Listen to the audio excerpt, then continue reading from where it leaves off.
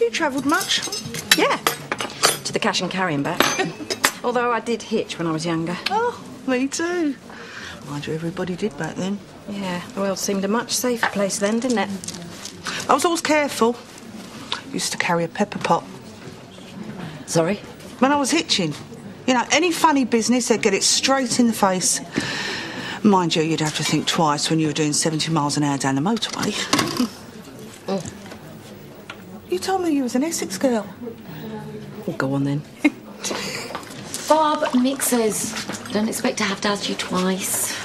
Stop it, stop it, stop it! I'm three sheets to the wind as it is. Trust you ladies enjoyed your lunch? It was fabulous. A bit overpriced. Will you shut up? I'm paying.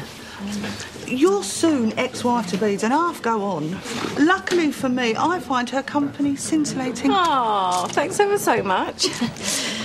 right, I suppose I better be getting back. Brenda will be unragged. I told her it'd only be half an hour. Viv, I was, um, I was wondering about the twins. oh, look, why don't you come over later, eh? Put the kids to bed.